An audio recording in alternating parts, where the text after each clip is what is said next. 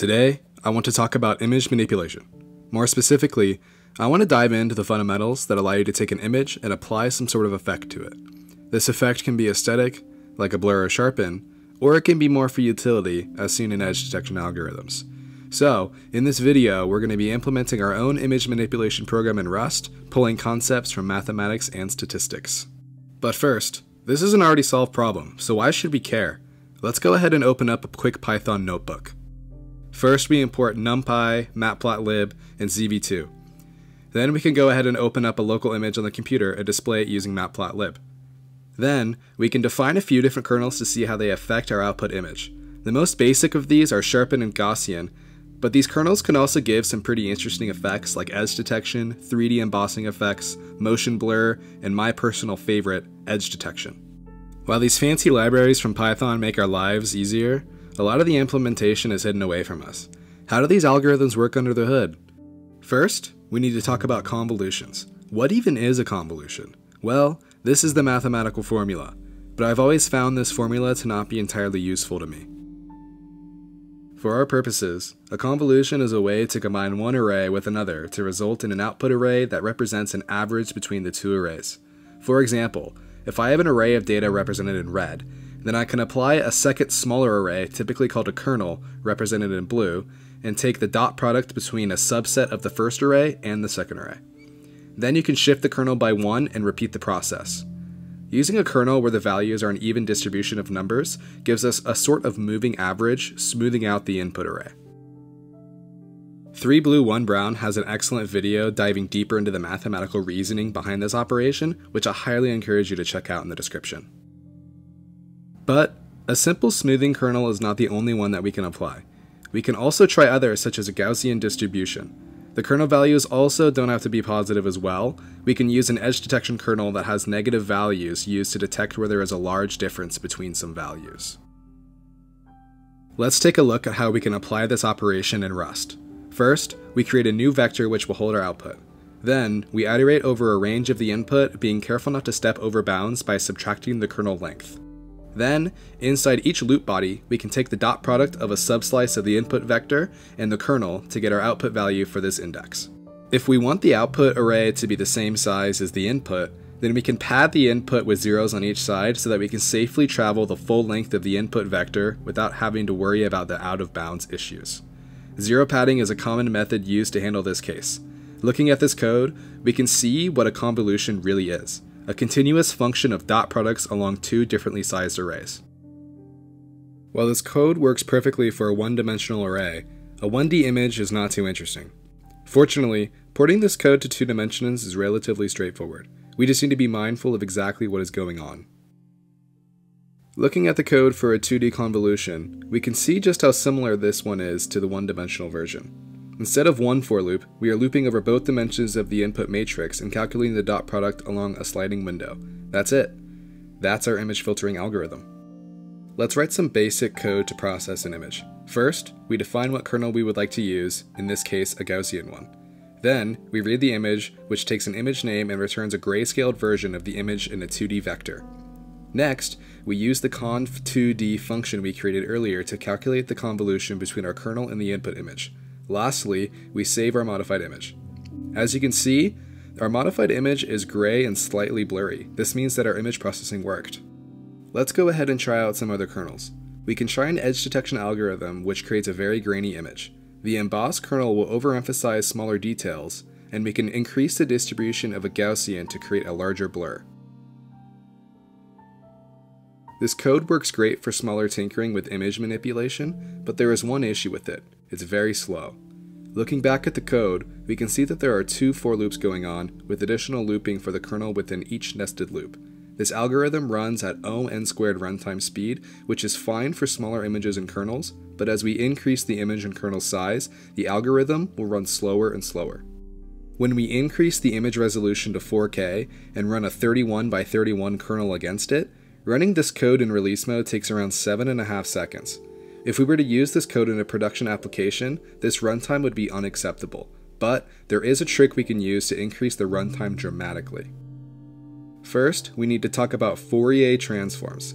From Wikipedia, a discrete Fourier transform converts a finite sequence of equally spaced samples of a function into a same length sequence of equally spaced samples of the discrete time Fourier transform, which is a complex function of frequency.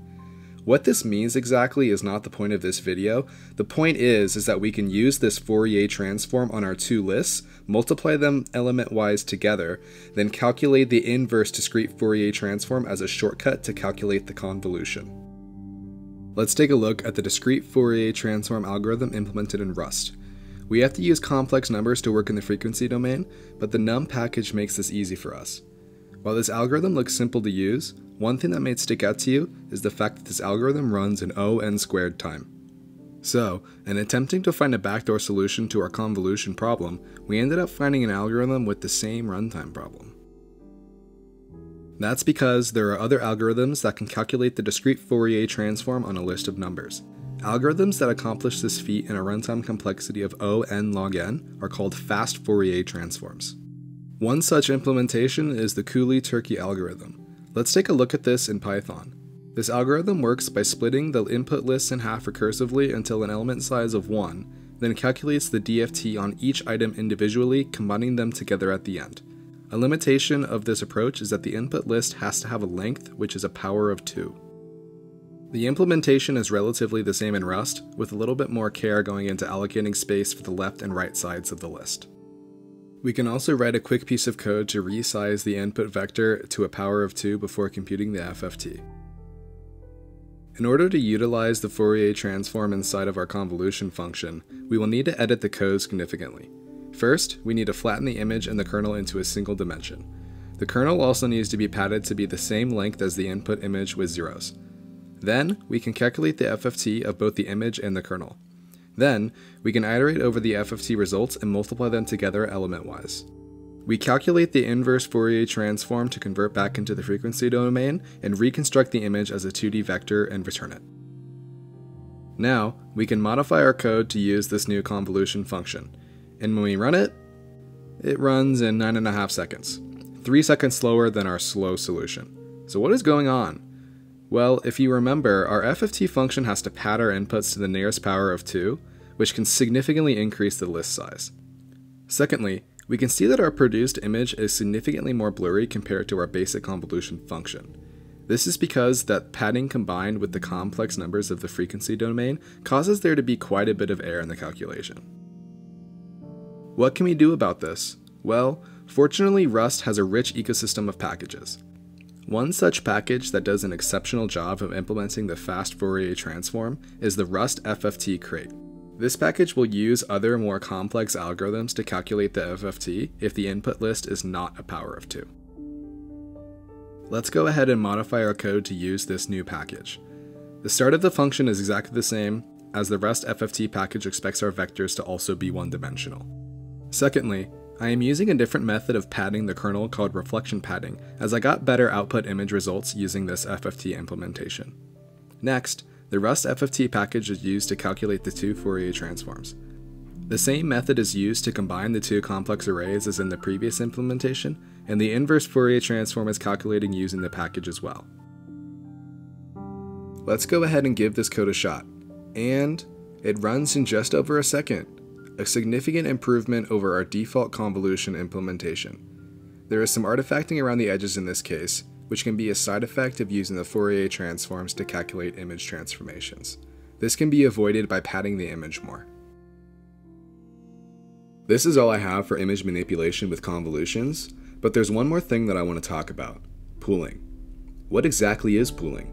Well, using Mario as an example, we can use the same sliding window approach as seen in the convolution example, but instead of applying a kernel to the window, we apply a function on the list of pixel values. For max pooling, you set the output pixel to the max value from the sliding window, so you end up with a pixelation effect on the output image. We can also apply the opposite operation, min pooling, where we take the minimum value from the sliding window of pixels. This gives a darker output image. On larger images, this effect can be quite interesting. There is average pooling as well, which should be equivalent to a convolution with an even distribution kernel. Another type of pooling is called L2 pooling, where we take the square root of the sum of squares in the region. We can also pull a random value from the pixel array called stochastic pooling. This is my personal favorite pooling algorithm as it gives a cool grainy effect on the image. Let's go ahead and implement this pooling function in Rust. First, we define a function named pool, which takes a generic parameter p. The function also takes an input, in our case the 2D image, and the pooling size. The function will return the modified image as a 2D vec, and the generic p-value is defined to be a mutating function that takes in a vector, in our case the sliding window, and returns a float. We can add this function as a parameter as well. Next, we pad our input with zeros using the padding function from our convolution examples. Then, we allocate some space for our output. Now, we loop over the 2D array of our input, and inside the loop body we can use some iterator methods to pull out our sliding window as a one-dimensional vector. We set the output at this index to the value returned from our predicate using our sliding window, and we return the output vector. Using this base pooling function, we can create public functions which use this base and perform the various operations we need for the pooling algorithm. Let's go ahead and test out some of these pooling algorithms. We kept the output of our pooling algorithm the same as our convolution functions, so this can be used as a drop-in replacement. Let's see how different pooling algorithms affect the look of an image.